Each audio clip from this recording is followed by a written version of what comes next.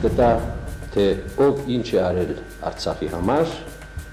եւ ով է իրականում ծախում այն։ Կասկածի ворթը մեզ ներսից ուտելու է, մեզ ջանդամը պետությունն է ուտելու։ Ուղի,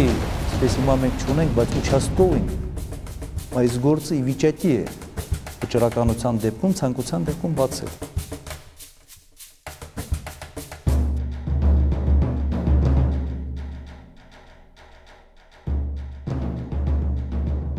1999-ի ամռանը Ղարաբաղյան կարգավորման գործընթացը մի նոր փուլ մտավ։ Հայաստանի եւ Ադրբեջանի նախագահները Ռոբերտ Քոչարյանն ու Հեյդար Ալիևը հենց 99-ի ամռանը որոշեցին փոխել Ղարաբաղյան բանակցությունների կազմակերպման մինչ այդ գործած ողջ դրամաբանությունը եւ շրջանցելով ԵԱՀԿ Մինսկի խմբի համանախագահների ինստիտուտը անցան ուղակի դռնփակ բանակցությունների։ Տարիներ անց բանակցային այս մի փուլի ընթացքում քննարկված հիմնական գաղափարը հայտնի կդառնա որպես տարածքների փոխանակ շարունակում կամ պարզապես մեղի տարբերակ։ Խոսքը գնում է նաև ադրբեջանցիներին ինչ որ կապ տալու Նախիջևանի հետ։ Դա մենք չենք շղթում, դա սեղանի վրա է։ Ուզում եք Ադրբեջանի կես այն ժամանակ նվերեք հայերին, դա 5 կոպեկի արժեք չունի։ Հայաստանի հիմնական արժեքը այն 46 կիլոմետրանոց ընդհանուր սահմանն է, որ մենք ունենք Իրանի հետ։ Роберт Сетракович, я думаю, какие компромиссы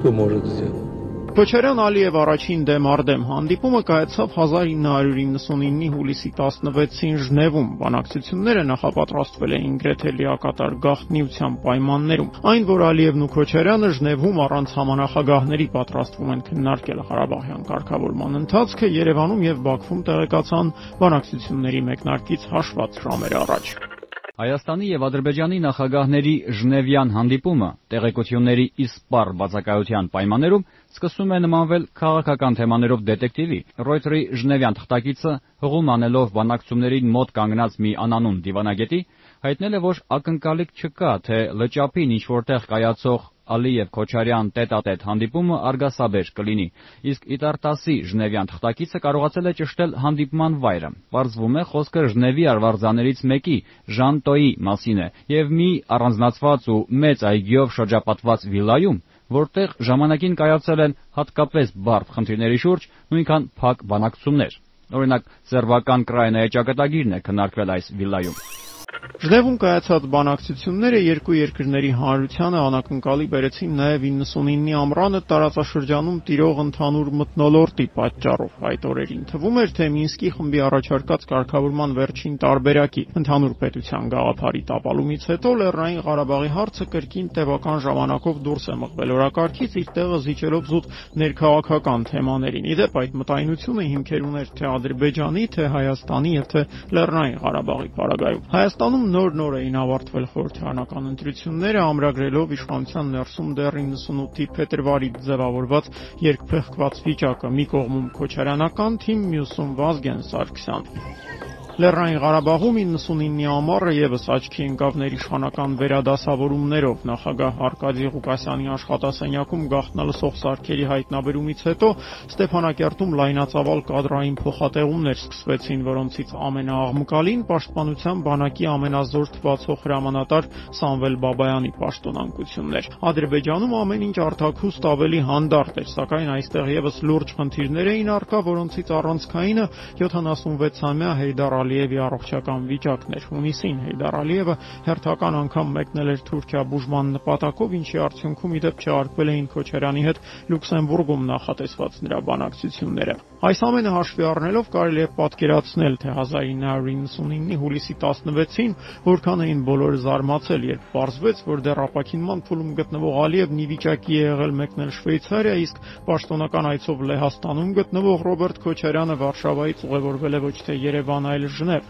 Հայաստան Քոչարյանը վերադարձավ հուլիսի 17-ի երեկոյան Սվարթնոց օթանավակայանում հավաքված լրագրողներին բուն հանդիպման մասին նա որևէ հստակ բան չասաց, նշելով միայն, որ Հեյդար Ալիևի հետ մոտ ապագայում նոր բանակցություններ են սպասվում։ Մենք ունենք ընդհանուր պայմանավորվածություն, դեռ ոչ մի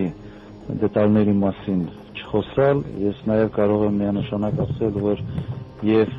համանախագահողները տեղյակ չեն ինչի մասին էր զրույցը։ Ես գոհ եմ հանդիպումից Արդյոք բանակցային գործընթացում տեղի է ունեցել ինչ-որ բան, որի մասին մենք չենք էլ կռահում Ժնևում կայացած բանակցություններից հետո մամուլում հնչող հիմնական հարցը հենց սա է։ Երևանում փորձում էին հասկանալ, արդյոք Քոչարյանն ու Ալիևը վերադարձել են ընդհանուր պետության շուրջ քննարկումներին, թե բանակցությունների սեղանին միանգամայն նոր մի տարբերակ է դրված։ Նշեմ սակայն, որ Քոչարյան-Ալիև առաջին դեմ առ դեմ հանդիպումից միայն մի քանի շաբաթ անց սկսեցին լուրեր շրջանառվել, որոնց համաձայն Բաքվի եւ Երևանի բանակցությունների հիմքում մինչ այդ երբևէ պաշտոնապես չքննարկված մի տարբերակ է։ Ըստ այդ լուրերի բանակցությունների հիմքում դրված կարգավորման տարբերակը ենթադրում էր ոչ միայն Ադրբեջանի եւ Լեռնային Ղարաբաղի, այլև Հայաստանի սահմանների որոշակի վերաձևում, բայց քանի որ բանակցությունները ընթանում էին լիակատար գաղտնիության պայմաններում, չկային անգամ տեղեկատվական արտահոսքեր, ապա կարգավորման գործընթացի մասին ենթադրություններ կարելի էր անել միայն բաց տեղեկատվությանն ու դիվանագիտական անցուդարձին հետևելով։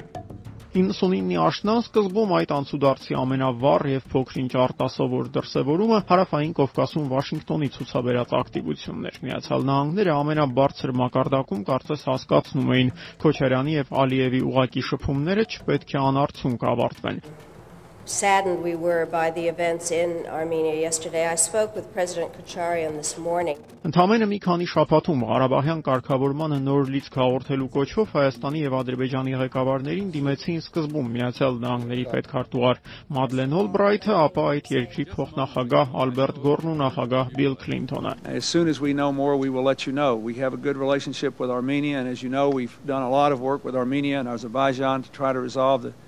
difficulties surrounding Nagorno-Karabakh. Դիվանագիտական շրջանակներում պատտվող համառ լուրերի համաձայն ամերիկացիները այս ուղերձներում նույնիսկ մատնանշում էին բանակցություններում ձեռք բերված առաջընթացը նախնական փաստաթղթի տեսքով ամրագրելու ժամկետներն ու վայրը նոեմբերին Ստամբուլում կայանալիք ՀՀԿ գագաթաժողովի ընթացքում։ Ամերիկյան այս համառ հորդորների ֆոնին էր, որ Ռոբերտ Քոչարյանն ու Հեյդար Ալիևը որոշեցին իրենց ուղակի շփումների պատմությունը հարստացնել սահմանին անցկացված բանակցություններով, հանդիպում կազմակերպելով Հայաստանի եւ Նախիջևանի սահմանագլխին Երասխավանի եւ Սադարակի միջև ընկած տարածքում։ Извиняюсь за некоторую задержку. Я приветствую прибывших из Армении, прежде всего президента Роберта Кочаряна, и его делегацию здесь, на азербайджанской земле. Это так, да? Да. Это все же от границы. Это мой первый визит, да? Это на азербайджанской земле. Օթափողվող հատուկ վրանում շուրջ 4 ժամ շարունակված հանդիպման ավարտին Հեյդար Ալիևը բավական առույգ էր։ Նա չէր էլ թաքցնում, որ բանակցային այս նոր ֆորմատը նույնիսկ գերազանցել է իր սպասելիքները։ с нетерпением ждут, что мы скажем, что все, проблема решена там и так далее. Нет, нужны, нужны встречи. Мы обсудили весь комплекс вопросов. Ну, еще одно обстоятельство, я думаю, очень важно, что мы для того, чтобы встретиться друг с другом, не уезжаем в Женеву там или еще куда-то, а встречаемся на границе, которая, как мне Гейдар Алиевич рассказывал, она была когда-то значит, местом встречи руководителей двух республик, здесь да. даже митинги Митинги дружбы армянского, азербайджанского народа вот на этом месте устраивали. В начале, когда мы вступили в этот диалог, трудно было представить, что мы можем так полезно сотрудничать для решения вопроса. Мы рассматривали многое, но для того, чтобы выйти на решение, нужно еще время, нужно еще встречи, нужно еще переговоры. И, конечно, нужны взаимные компромиссы. И Роберт Сетракович, я думаю, какие компромиссы кто может сделать. Բայց եւ այնպես Քոչարյանն ու Ալիևը սադարակի հանդիպումից հետո նույնիսկ մոտավոր կերպով ճուրվագծեցին կարգավորման տարբերակների այն շրջանակը, որ քննարկել էին ժամեր շարունակ։ Կարող է զարմանալի թվալ, բայց միակ թեման, որի մասին Ալիևն ու Քոչարյանն այդ օրը պատրաստ էին կոնկրետ եւ նույնիսկ հաճույքով խոսել, ոչխարներն էին։ Այն ոչխարները, որոնց բանակցություններից առաջ Ալիևի ոտքերի տակ մորթել էին նախիջևանցի գյուղացիները։ Даже здесь 3 года не был. Каждый село выходит огромное количество людей, а еще прежде. Я уже последний сказал, Скоро самый высокий. Я надеюсь, что охрана баранов хоть одного привезла сюда. Сколько хотите народа. Потом мы здесь будем сидеть.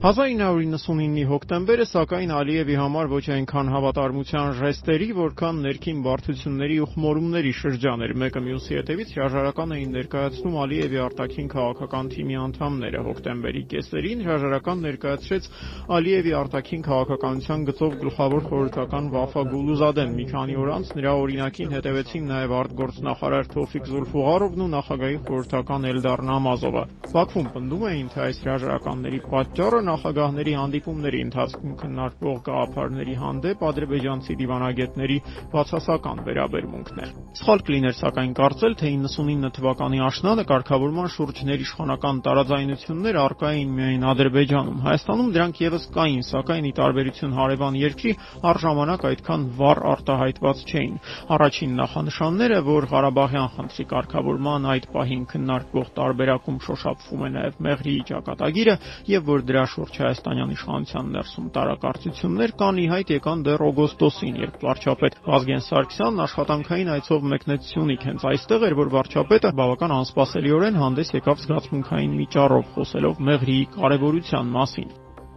Երբ դու մեղրին տալիս ես օտարին, քո տան դուռը փակում ես քեզ վրա։ Մեղրին ավելի կարևոր է, քան ցանկացած այլ բան, նշում էր Վազգեն Սարգսյանը պնդելով. Ես զգուշացնում եմ, մեղրին մի օր պայթելու է հենց Երևանի կենտրոնում։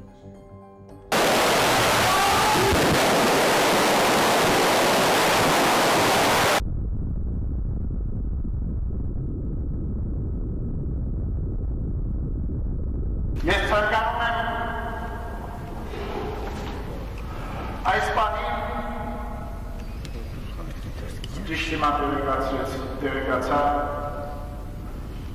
որ պարլամենտում սպանված է մեր հանրապետության վարչապետը Հետագայում տարիներ անց քաղաքական դաշտում շատ կխոսեն հոկտեմբերի 27-ի եւ Մեղրիի տարբերակի միջև եղած հնարավոր կապի մասին։ Նման հայտարարություններով հանդես կգան մասնավորաբար առաջին նախագահ Լևոն Տեր-Պետրոսյանը եւ Վազգեն Սարգսյանի եղբայրը Արամ Սարգսյանը։ Հայաստանում այս դավադրությունը խափանվեց երկու մարդու շնորհիվ։ Եվ նրանք մեկ մեր մեծագույն պատիվը պետք է մատուցենք այդ երկու մարդուն։ Դա Կարեն Դեմիրճյանն էր եւ Վազգեն Սարգսյանը։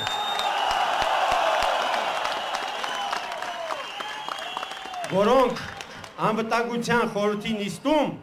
խափանեցին այս ծրագիրը եւ դրա համար դրա գինը նրանց կյանքն էր, որ վճարեցին։ Նշեմի դեպ, որ խորհրդանի դահլիճում տեղի ունեցած ողբերգությունից հաշված ժամեր առաջ Երևանում էր Միացյալ Նահանգների պետքարտուղարի տեղակալ Սթրոփ Թելբոթը, որի հանդիպումների գլխավոր, եթե ոչ միակ թեման Ղարաբաղն էր։ Մամուլում շրջանառվող ենթադրությունների համաձայն ամերիկացի դիվանագետները հարավային Կովկասում ցանկանում էին ճշտել արդյոք Ադրբեջանում մեկը մյուսին հաջորդած հրաժարականների ֆոնին Ալիևի եւ Քոչարյանի միջև մինչ այդ ձեռք բերված պայմանավորվածությունները շարունակում են ուժի մեջ մնալ։ Երևանում սակայն ամերիկացի ֆրանսիացի դիվանագետները բախվեցին նոր, շատ ավելի լուրջ միջկնաժամի։ Just about an hour ago, uh, the men armed with pistols and automatic rifles burst in while the prime minister was giving a speech. Հոկտեմբերի 27-ից անմիջապես հետո սակայն հստակ էր տեսանելի ապագայում Ղարաբաղյան կարգավորումը մղվելու է երկրորդ, եթե ոչ երրորդ պլան։ 99-ի տարեվերջին Քոչարյանի իշխանությունն առանց չափազանցության մազից էր կախված։ Գագիկ Ջանգիրյանի ղեկավարած քնչական խմբի ամեն մի նոր բացահայտում, որի հետքը տանում էր դեպի Բաղրամյան 26, ավելի էր թույլատնում Քոչարյանի դիրքերը։ Բնական է, որ նման պայմաններում Ղարաբաղյան կարգավորման շուրջ որևէ առարկայական բանակցություն վարելը, առավել եւս փողզիջումների մասին խոսելը Ռոբերտ Քոչարյանի համար քաղաքական ինքնասպանությանը հավասարազոր մի բան կարող էր դառնալ։ Մյուս կողմից, սակայն Հայաստանի ղեկավարը ամբողջությամբ զրոյացնել իր դիվանագիտական ակտիվությունը չէր կարող։ Ոստի հոկտեմբերի 27-ից մոտ 3 շաբաթ անց Ռոբերտ Քոչարյանը մեկնեց Ստամբուլ։ ԵԱԿ գագաթաժողովի վերջնական փաստաթղթում հրճակագրում հատուկ պարագրաֆով պետք է արձանագրվի Ղարաբաղյան խնդիրը։ Պատասխանելով իմ այն հարցին, թե ինչ կարող ենք ակնկալել այս գագաթաժողովից Ղարաբաղյան խաղաղ կարգավորման հարցի շուրջ, ԵԱՀԿ գործող նախագահ Քնուտ Վոլեբեկն ասաց, թե մենք մեր անվերապահ աջակցությունն ենք հայտնել Հայաստանի եւ Ադրբեջանի նախագահներին, բարձր գնահատելով երկխոսությունը նրանց միջև։ Այսօր Հայաստանի եւ Ադրբեջանի նախագահներ Ռոբերտ Քոչարյանը ու Հեյդար Ալիևը հանդիպել են ԵԱՀԿ Մինսկի խմբի երանախագահության անդամ երկրների Ռուսաստանի, ԱՄՆ-ի եւ Ֆրանսիայի արտգործ նախարարների հետ։ Այսօր գաղափարաժողովում ելույթ ունեցած աշխարհի ղեկավարներն առանձին չանդրադարձան Ղարաբաղյան հարցին։ Միակ հաճելի բացառությունը Ֆրանսիայի նախագահ Ժակ Շիրակն էր, որն իր ելույթի մի զգալի մասը նվիրել էր Ղարաբաղին։ Ստամբուլի գագաթաժողովը ի դեպ մեկ այլ առումով եւս նշանակալի էր։ Հենց այս հավաքին զուգահեռ էր, որ անանուն աղբյուրները վերջապես սկսեցին հստակեցնել, թե ինչ տեսք ունեն կարգավորման այն սկզբունքները, որոնց շուրջ բանակցում են Ռոբերտ Քոչարյանն ու Հեյդար Ալիևը կա լրատվական արտահոսք, թե բանակցությունները վերսկսելու բավական հավանական հիմք առաջարկն այսպիսին է լինելու։ Լեռնային Ղարաբաղին անկախությունից վար ինքնավարությունից վեր կարգավիճակ Քելբաջարն անվտանգության գոտի, Աղդամը, Ֆիզուլին, Ջեբրայիլը, Ղուբաթլին եւ Զանգիլանը Ադրբեջանին, Լաչինը Ղարաբաղին որպես կապող միջանցք Հայաստանի հետ, դրա փոխարեն Հայաստանի ծայր հարավից կապող միջանցք Ադրբեջանի եւ Նախիջևանի միջև։ Բանակցությունները վերսկսելու նման նախնական տարբերակը որքանով կարող է ընդունելի լինել Հայաստանի եւ Լեռնային Ղարաբաղի տարբեր քաղաքական ուժերի իրավասու բարձրաստիճան պաշտոնյաների համար։ Ինչպես նշեց Հանրապետական կուսակցության խորհրդի նախագահ Անդրանիկ Մարգարյանը, խոսք լինել որ Հայաստանի սահմանով ինչ որ կապ ստեղծի Նախիջևանի եւ Ադրբեջանի չդես բացառն մեր ողենք ազատագրել, այլ ոչ թե պետք է դրա փոխարեն դեռ մեր հանրապետության տարածքից ինչ որ մի բան տալ։ ԱԺՄ առաջնորդ Վազգեն Մանուկյանը կտրականապես հրաժարվեց մեկնաբանել տարբերակը։ Ես ենթադրությունների վրա տեսակետ չեմ հայտնում։ Հայկոմկուսի առաջնորդ Սերգեյ Բադալյանը, ի տարբերություն մյուս բոլոր զրուցակիցներից, ասաց, որ բանակցությունների վերսկսման տվյալ առաջարկի մասին որոշ տեղեկություններ ունի։ Ուզում եք Ադրբեջանի կեսեն ժամանակ նվիրեք հայերին, դա 5 կոպեկի արժեք չունի։ Հայաստանի արժեքը, նրա հասարակական դիրքի հիմնական արժեքը այն 46 կիլոմետրանոց ընդհանուր սահմանն է, որ մենք ունենք Իրանի հետ։ Նշեմ ի դեպ, որ սա Հայկոմկուսի առաջնորդ Սերգեյ Բադալյանի ազատությանը տված վերջին հարցազրույցն էր դրանից մի քանի օր անց 52-ամյա Բադալյանը կմեկնի Մոսկվա, որտեղ էլ նոյեմբերի 25-ին հանկարծ ամահ կլինի։ Մեղրի տարբերակի մասին սակայն 99-ի վերջին եւ 2000 թվականի սկզբին ծավալված ներքաղաքական եւ ներիշխանական պայքարի պայմաններում Հայաստանի իշխանությունները գերադասում էին լռել։ Այս ընթացքում Քոչարյանն ու Ալիևը հանդիպեցին միայն մեկ անգամ՝ հունվարին Դավոսում։ Հասարակական տրամադրությունների տնտղումը վերսկսվեց միայն այն բանից հետո, երբ Քոչարյանի թիմին հաջողվեց որոշակիորեն զսպել հոկտեմբերի 27-ի գործի նախաքննության ընթացքը, բարձր պաշտոններով եւ զինվորական կոչումներով չեզոքացնել առաջատար երկրապահ պահներին, ինչն էլ գրեթե անխուսափելի դարձրեց Վազգեն Սարգսյանի եղբոր Արամ Սարգսյանի ձևավորած կառավարության պաշտոնանկությունը։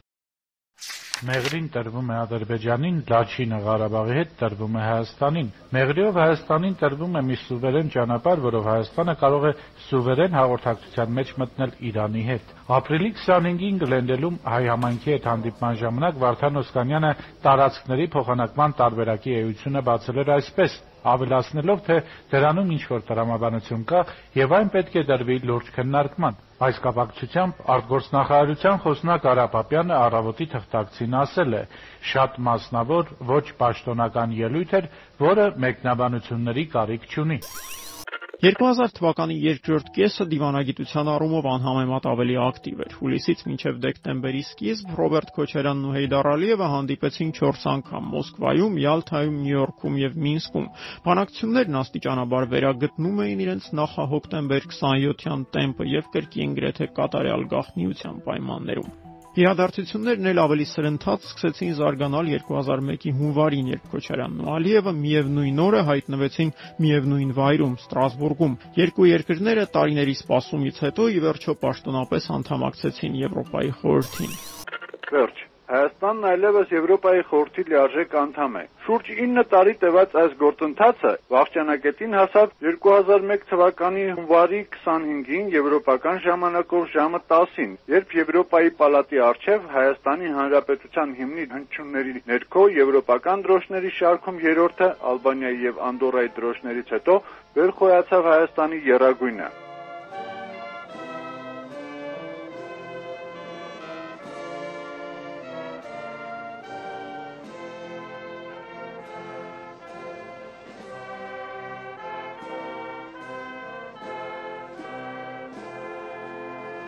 Հաշված րոպեներ անց Եվրոպայի խորհրդի արչև բարձրացվեց նաև Ադրբեջանի դրոշը, որի ու մեր դրոշների արանքում ավստրիական դրոշն է տեղ գտել։ Այնուհետև ելույթ ունեցան Հայաստանի եւ Ադրբեջանի նախագահները։ President Kocharyan, I give you the floor. Ռոբերտ Քոչարյանը հանդես եկավ անգլերենով։ With its rich historical and cultural heritage, the Armenian nation had always considered itself part of the European, European civilization. Soon after having gained in, independence, we declared our objective to engage Armenia firmly in the architecture of the new Europe.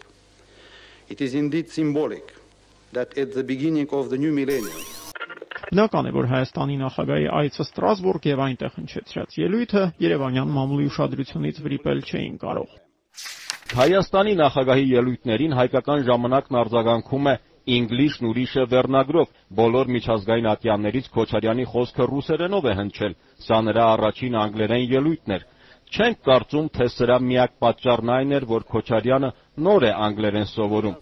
Լեզվաքաղաքական դիտարկումները հայկական ժամանակն ավարտում է ակնարկելով, թե Մասնագետների ասելով Քոչարյանի անգլերենը աչքի էր ընկնում ռուսական ակցենտով։ Ազգի թղթակցի տպավորությամբ բոլորի ուշադրությունը սևեռվեց Հեյդար Ալիևի արտաքին տեսքին, հատկապես երեսի գույնին, որը մի տեսակ սպիտակավուն էր։ Ալիևը քայլում էր ինչպես հիվանդ ծերուկ, ելույթի ընթացքում կարծես շնչահեղձ լինում։ Փոխարենը կատարյալ առույգ էր որդին՝ Իլհամը, որն ամենուր եւ ամեն րոպե հոր թիկունքին էր։ Իր դիտարկումները ազգի թղթակիցը ավարտում է հետևյալ ենթադրությամբ. Հավանաբար Ռոբերտ Քոչարյանը մոտ ապագայում գործ կունենա հենց Իլհամ Ալիևի հետ։ Իլհամ Ալիևի հետ Քոչարյանն իդեպ բանակցելու առիթ դեռ ունենա, բայց 2001-ին, որքան էլ Երևանյան թերթերը պատմեին Հեյդար Ալիևի առողջական ծանր վիճակի ու վատ տեսքի մասին, ակնհայտ էր. Ադրբեջանի 78-ամյա նախագահը դեռևս խիստ աշխատունակ է։ Դրա ամենավառ ապացույցը թերևս այն էր, որ իրադարձություններով հագեցած Ստրասբուրգյան օրվանից 24 ժամ չանցած Ալիևը ոչ միայն ի վիճակի էր մեկնել Փարիզ, այլև 5 ժամից ավել գրեթե առանց ընդմիջման Ռոբերտ Քոչարյանի եւ Ժակ Շիրակի հետ քննարկել Ղարաբաղյան կարգավորման ընթացքը։ Ենթադրվում է, որ բանակցությունները եղել են դժվարին եւ երկար։ Շիրակի հետ պետք է սկսվեր ժամը 12:30-ին եւ շարունակվեց մինչեւ ժամը 3:00 կես։ Բանակցությունները ավարտվեցին եւ մամուլի ասուլիսն էլ ավարտվեց, դա տևեց շատ կարճ։ Տրվեց միայն մեկ հարց. ինչ էական տարբերություն կա առաջին հանդիպման եւ 14-րդ հանդիպման միջեւ։ Ալիևը պատասխանեց այսպես, որ ինքն էլ չգիտեր, որ 14-րդ հանդիպումներ ինքնանպատակ չեն այդ հանդիպումները։ Հույս ունեմ ասած նա, թե 100-րդ հանդիպմանը չենք հասնի Ղարաբաղի հարցը լուծելու համար։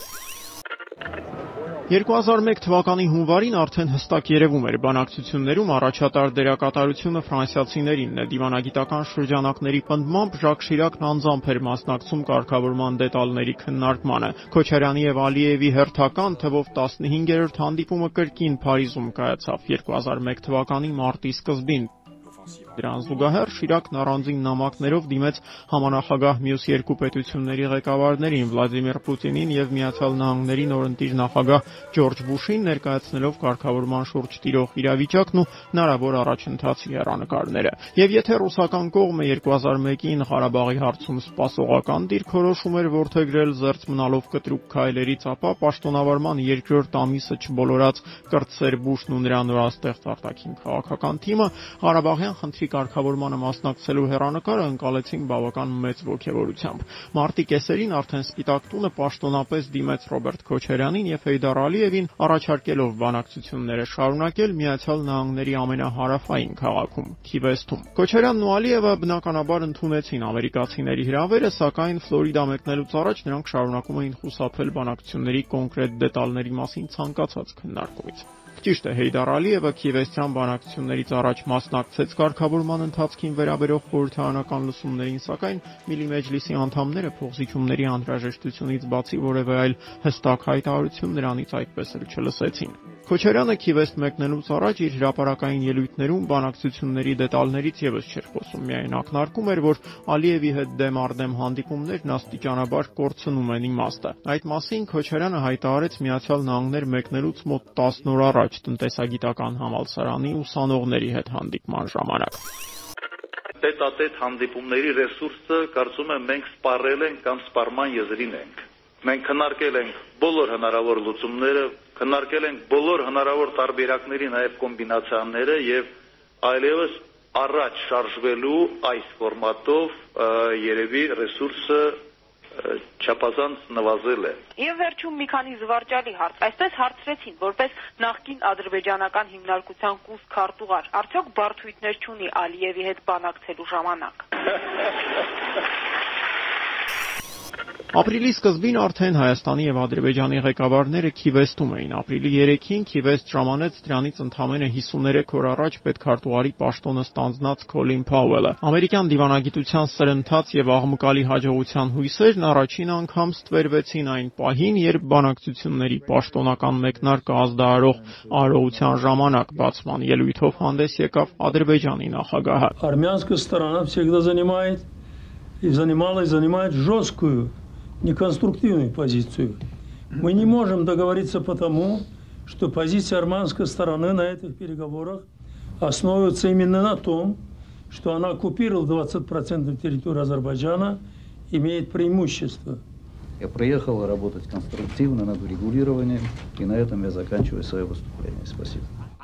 Եվ եթե բանակցությունների առաջին օրը թվում էր, թե Ալիևի ճառն ընդամենը մի ոչ մեծ անախորժություն էր Քիվեստում տիրող ընդհանուր լավատեսական մթնոլորտի եւ դիվանագիտական շրջադարձի սպասման ֆոնին, ապա ապրիլի 4-ի իրադարձությունները եկան վկայելու, որ ամեն ինչ այդքան էլ միանշանակ չէ։ Այս անգամ կոշտ հայտարարությունները հնչում էին հայկական կողմից, ճիշտ է, ֆորմալ առումով Քիվեստում գտնվող հայկական պատվիրակությունն այդ ամենի հետ որևէ կապ չուներ եւ շարունակում էր հանդես գալ խիստ կառուցողական դիրքերի հարցերից։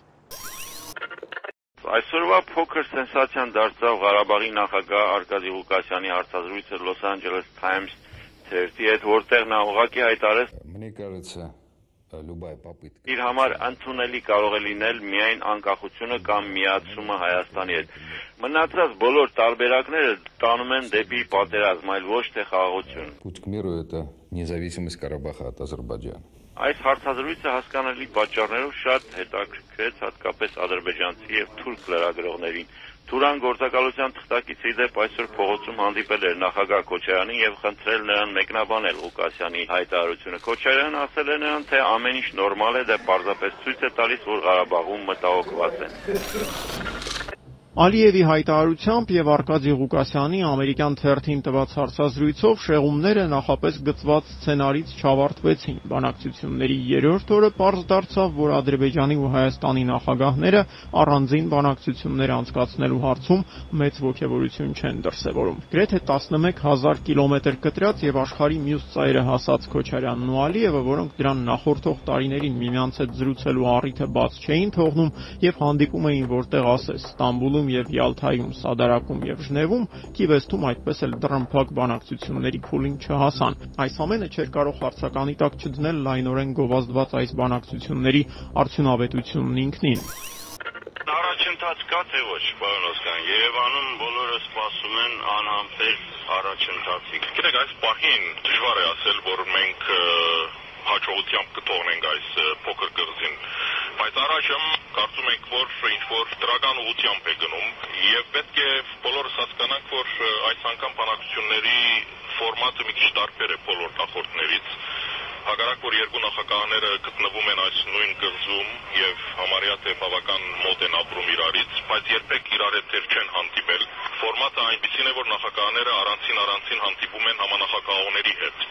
Սա կոչվում է դիվանագիտության մեջ proximity talks։ Փակ դռների հետևից ստացվող կծկտուր տեղեկություններից դատելով Քիվեստում ընթացող բանակցությունների հիմնական քննարկումները դետալների շուրջ էին, որոնք ի դեպ կրկին բխում էին տարածքների փոխանակման տարբերակից։ Քիվեստին ուղված հայաստանյան սպասողական խոսակցություններին մի փոքր նոր աշխուժություն է հաղորդել փաստը, որ նախագահ Քոչարյանին ուղեկցողների փոքրաթիվ խմբում է Լորվա մարզպետ Հենրիկ Քոչինյանը։ Մինչ ոմանք ենթադրում են, թե պարզապես Լոռին ու Քիվեստը քույր մարզեր են դառնալու, «Առավոտ»-ի թղթակիցը արձանագրում է, որ Հայաստանի տրանսպորտի նախկին նախարար Քոչինյանը ճանապարհաշինության ու կամրջաշինության լավագույն մասնագետներից է, նախկինում ներկայացրել է տարածաշրջանային հաղորդակցությանն առնչվող որոշ փաթեթներ։ Այս ամենը թղթակցին մղել է ենթադրության, թե Քիվեստում կոնկրետ քննարկման առարկա է դառնալու Հայաստանի տարածքի հաշվին միջանցքների մի ամբողջ ցանցի բացման հարցը։ Եվ եթե խոսեցինք Հայաստանի տարածքով անցնող տրանսպորտային միջանցքների մասին, ապա տեղին է հիշեցնել, որ Քիվեստից 2 տարի առաջ 1999-ին քննարկված տարբերակով Մեղրիի շրջանն անցնում էր Ադրբեջանին, իսկ Հայաստանը այսպես կոչված սուվերեն անցում էր ստանում դեպի Իրան։ 2001-ի գարնանն արդեն սուվերեն անցումների տեղերն ու շահառուները փոխվել էին։ Այժմ արդեն քննարկվում էր Ադրբեջանին Մեղրիով դեպի Նախիջևան սուվերեն անցում տրամադրելու հարցը։ Դիվանագետների պնդմամբ Հայաստանին չի ենթարկվող եւ Մեղրի Մեղրիի շրջանը ծայրից ծայր կտրող այդ անցումը ամենայն հավանականությամբ էստակադայի տեսք պետք է ունենար։ Բացի այդ, ըստ արտահոսքերի հայկական զորքերը պետք է դուրս բերվեին գրավյալ տարածքների մեծ մասից, ինչի դիմաց Լեռնային Ղարաբաղն ու Լաչինի միջանցքը միացվելու էին Հայաստանին։ Բայց քանի որ փորձագետները Քիվեստում աշխատում էին փակ դռների հետևում, նախագահներն ու արտգործնախարարները խիստ հազվադեպ էին հայտնվում տեսախցիկների առջև, ապա բանակցությունների յուրատեսակ մամուլի քարտուղարների դերը իրենց վրա էին վերցրել Մինսկի խմբի համանախագահները։ Միջնորդների երյակի գլխավոր աստղն իհարկե ամերիկացի համանախագահն էր Քերի Քավանոն միշտ շփտերես եւ մինչեւ որոշակի պահը նաեւ լավատես։ I, I would not characterize my optimism as having been different yesterday. Իմ այսօրվա լավատեսությունը չի տարբերվում երեկվանից։ Ես պարզապես ավելի հոգնած եմ այսօր։ Երեկվա բանակցություններն իմ կարծիքով շատ արդյունավետ էին, իսկ այսօրվա բանակցությունները շատ կոնկրետ բնույթ էին կրում։ Քերի Կավանան ասաց, որ ինքը նախագահների մոտ որևէ այնպիսի բան չնկատեց, որը թշնամանքի վերսկսման հիմք տար։ Ինչ վերաբերում է Քիվեստ ժամանած ռուսաստանյան պատվիրակությանն, ապա չհիշատակել դրա ղեկավարին առաջին փոխարտգործնախարար Վյաչեսլավ Տրուբնիկովին չի կարելի։ Ռուսաստանցի միջնորդի գլխավոր առանձնահատկությունը նրա կենսագրությունն էր։ Մինչև Ռուսաստանի արտգործնախարարությունում աշխատանքի անցնելը Տրուբնիկովը տասնամյակներ շարունակ աշխատել էր Խորհրդային Միության, ապա նաև Ռուսաստանի Դաշնության հետախուզական կառույցներում։ Ռուսաստանի արտաքին հետախուզության ծառայության SVR-ի տնօրենի պաշտոնը գեներալ Տրուբնիկովը լքել էր Քիվեստյան բանակցություններից մոտ 1 տարի առաջ։ Քիվեստում Վյաչեսլավ Տրուբնիկովը թե կտրուկ լավատեսական եւ թե հորետեսական հայտարարություններից զերծ էր մնում կրկնելով հայտնի տեսակետը, թե Մոսկվան համաձայն է ցանկացած լուծման, որ ընդունելի կլինի հայերի եւ ադրբեջանցիների համար։ Наши усилия сейчас стимулируются вот тем диалогом, который на протяжении более года развивался между двумя президентами. Наверное, наступает такой период, когда нам уже становится гораздо легче работать, не изобретая что-то, так сказать, из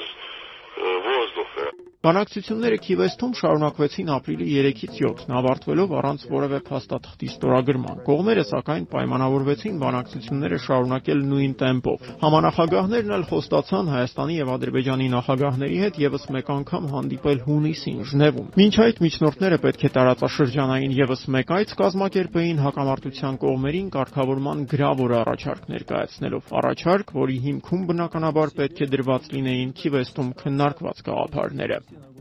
Հեյդար Ալիևը եւ Ռոբերտ Քոչարյանը Քիվեստից տուն վերադարձան Վաշինգտոնով։ Այստեղ Սպիտակ տանը երկու երկրների ղեկավարներին առանձին առանձին ընդունեց Միացյալ Նահանգների նախագահ Ջորջ Բուշը։ Վաշինգտոնյան բանակցություններից հետո Քոչարյանը լրագրողների հետ գերադասեց չշփվել Սպիտակ տունը լքելով ստորգետնյա կայանատեղիով։ Հեյդար Ալիևը հակառակը դուրս եկավ Սպիտակ տան կենտրոնական մուտքից, հանդիպելով այստեղ հավաքված լրագրողների հետ։ Встреча прошла очень хорошо. My meeting with President Bush was good. Я очень доволен. I'm very satisfied of the meeting. Եվ մինչ Հայաստանի նախագահը վերադառնում էր Երևան, տեղական մամուլը չէր հրաժարվում կարգավորման խիստ գաղտնի նոր սկզբունքները բացահայտելու կամ գոնե դրանց էությունը կռահելու փորձերից, որպես կանոն հիմնական քննարկումները շարունակում էին պտտվել Մեղրիի կարգավիճակի շուրջ առավոտի մեկնաբանի հայացքով իշխանական քարոզչամիջոցները սկսել են չափավոր դոզայով հայ հասարակայնությանը նախապատրաստել բանակցությունների արդյունքների հրապարակմանը։ Մասնավորապես ըստ որոշ դիտորդների Մեղրիին վերաբերող ազդանշան են ակնարկները Իրանի դերի կարևորման եւ այն մասին, որ Ղարաբաղյան խնդրի լուծումը տեղավորվելու է նաեւ վերջինիս ռազմավարական շահերի շրջանակում։ Նշեմ իդեպ, որ հայ-ադրբեջանական բանակցությունների ակտիվացմանը զուգահեռ Բաքվում եւ հատկապես Երևանում մոռացության երկար տարիներից հետո կրկին հիշել էին այն մարդուն, որն առաջինն էր խոսել Մեղրին Լաչինով փոխանակելու նպատակահարմարության մասին։ Այդ մարդը պետքարտուարության նախկին պաշտոնյա Փոլ Գոբլն էր, որը տարածքների փոխանակման գաղափարը առաջ էր քաշել դեռ 1992 թվականի ամռանը պատերազմի ամենաթեժ պահին։ Քիվեստյան բանակցությունների օրերին, սակայն Գոբլն այլևս դիվանագետ չէր եւ ազատ ազատության Վաշինգտոնի գրասենյակում որպես վերլուծաբան էր աշխատում։ Իր հեղինակած տարածքների փոխանակման գաղափարի մասին, սակայն նա տարիների ընթացքում չէր մոռացել։ Վերլուծաբանը այսպես արձագանքեց մեր այն հարցին, թե արդյոք Ադրբեջան-Նախճեվան տրանսպորտային միջանցքի տարբերակը կարող ենք դիտել որպես Գոբլի ծրագրի իրականացում։ Well, I've always believed that uh, guaranteeing Azerbaijani access Ես միշտ ասել եմ, որ Ադրբեջանին Նախիջևանի հետ կապ հաստատելու հնարավորություն ընձեռելը կնպաստի կոնֆլիկտի կարգավորմանը։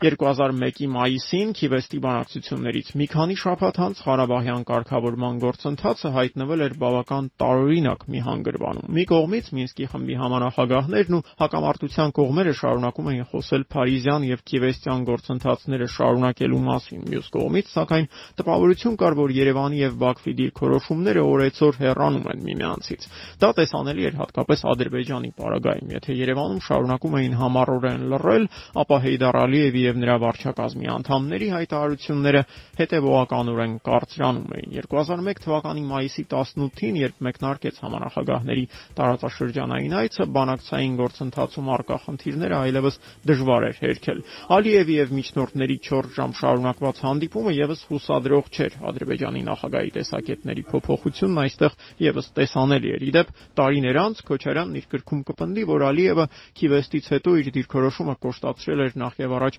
ընտանիքի անդամների ազդեցության տակ։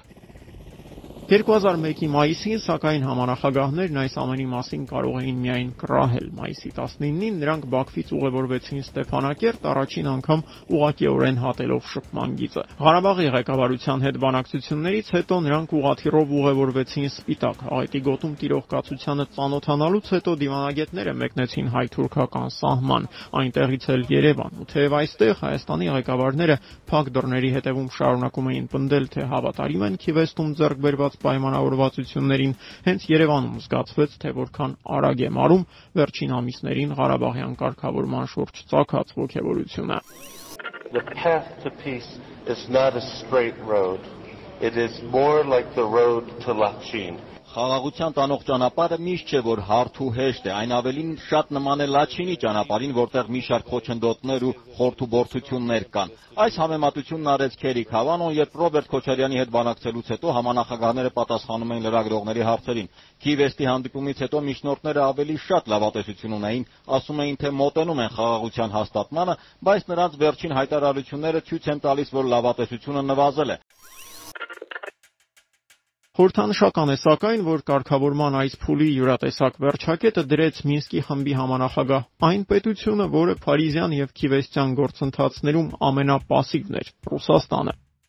Մոսկվան Քիևստից անմիջապես հետո փոխել էր Մինսկի խմբում իր ներկայացուցչին։ Հետախուզության գեներալ Վյաչեսլավ Տրուբնիկովին այս պաշտոնում փոխարինել էր Եմենում նախկին դեսպան Նիկոլայ Գրիպկովը։ Հենց Գրիպկովն էր, որ սկզբում Բաքվում, ապա նաև Երևանում կասկածի տակ առավ Ժնևում բանակցություններ անցկացնելու նպատակահարմարությունը։ Главное, чтобы эта встреча была успешной. Այս տեսակետին էին հակված նաև ֆրանսիացիները, որոնք եւս պնդում էին, թե գործընթացն արհեստականորեն արագացնելու կարիք չկա։ Երևանից հեռանալուց մի քանի օր անց համանախագահները հայտարարեցին, որ Ժնևյան բանակցությունները հետաձգվում են մեջբերում անորոշ ժամկետով։ Այս ձևակերպումն իհարկե չեղարկման ավելի մեղմ տարբերակներ։ 2001 թվականի ամռանը Քոչարյանն ու Ալիևը հանդիպեցին միայն մեկ անգամ. Սոչիում կայացած ԱՊՀ ոչ պաշտոնական գագաթաժողովի շրջանակներում։ Կարգավորման գործընթացը կարծես կրկին անցնում էր ռուսական վերահսկողության տակ։ Չի բացառվում իհարկե, որ ամերիկացիներն ու ֆրանսիացիները որոշակի դադարից հետո մեկ անգամ եւս փորձեին նախաձեռնությունն իրենց ձեռքը վերցնել նոր շունչ հաղորդելով Փարիզում եւ Քիվեստում ձեռք բերված պայմանավորվածություններին։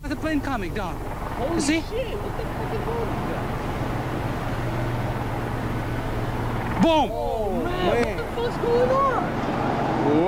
Սեպտեմբերի 11-ին Միացյալ Նահանգներում տեղի ունեցած ահաբեկչական գործողությունները սակայն անդառնալիորեն փոխեցին միջազգային հարաբերություններում տիրող ողջ մթնոլորտն ու ուժերի հարաբերակցությունը։ Գերտերություններից եւ ոչ մեկն այլևս ի վիճակի չէր լուրջ ռեսուրսներ առանձնացնել Ղարաբաղյան հարցի շուտափույթ լուծմանը հասնելու համար։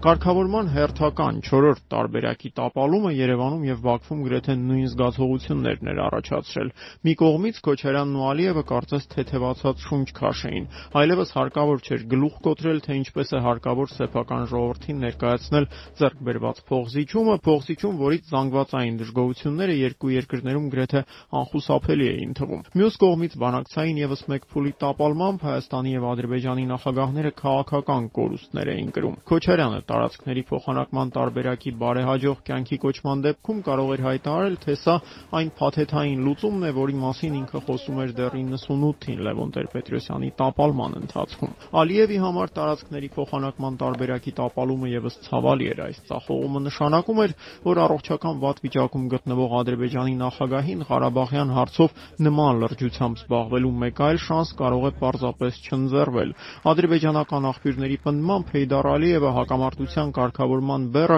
երկրի հաջորդ նախագահին փոխանցելու որևէ ցանկություն չուներ, իսկ այն, որ Ադրբեջանի հաջորդ նախագահը նրա որդին է լինելու, Իլհամը 2001-ին քչերն էին կասկածում։ Ադրբեջանի նախագահի դեպքում սակայն կար մեկ այլ ոչ պակաս կարևոր գործոն՝ ծնունդով նախիջևանցի Հեյդար Ալիևի համար իր հայրենի երկրամասի եւ Ադրբեջանի մնացյալ տարածքների միջև ցամաքային կապի ապահովումը կյանքի նպատակ էր։ Այս ուղղությամբ Ալիևը լուրջ ջանքեր էր գործադրել դեռ խորհրդային Ադրբեջանի ղեկավար եղած ժամանակ։ Ճիշտ է, նախորդ դարի 70-ականներին ու 80-ականներին՝ ի տարբերություն 2000-ականների սկզբի Հայաստանի ղեկավարներից, եւ ոչ մեկը Մեղրիի փոխանակման հերանեկարը չէր ցանկացել քննարկել։ Խորհրդային տարիներին Հայաստանի Կոմկուսի առաջին դեմքերից 80-ական թվականներին նախարարների խորհրդի նախագահի առաջին տեղակալ Ալեքսան Կիրակոսյանը «Ազգ» թերթում պատմում է, որ խորհրդային 70 տարիներին Մեղրիի դիմաց ադրբեջանցիները համաձայն են եղել մի քանի անգամ մեծ տարածքներ տրամադրել մեզ, բայց Հայաստանի ղեկավարները ամեն կերպ դիմադրել են, հասկանալով, որ Մեղրին անգին է։